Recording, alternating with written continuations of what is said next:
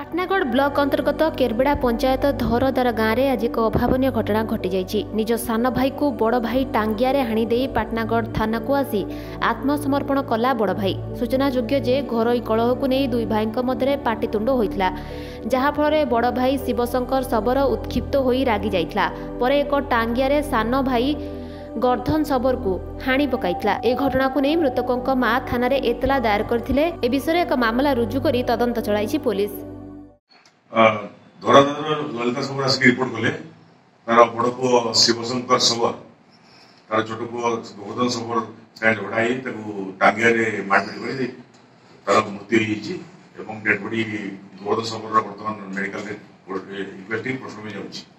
এই ଘଟଣା ତାଙ୍କର ଘରୋଇ କଳହ ଓ ତାଙ୍କ ଜମିବାଡ଼ି ଝଗଡ଼ା ନେଇକି ହେଇଛି ଏବଂ ଏଥିରେ ମୁଦଲା ଶିବଶଙ୍କର ସବରକୁ ଥାନାରେ ଡିଟେଲ୍ ପଚାରିବାକୁ ଚାଲିଛି ପାଟନାଗଡ଼ରୁ ସୁନୀଲ ଚୋପଦାରଙ୍କ ରିପୋର୍ଟ ମେଟ୍ରୋ ଟିଭି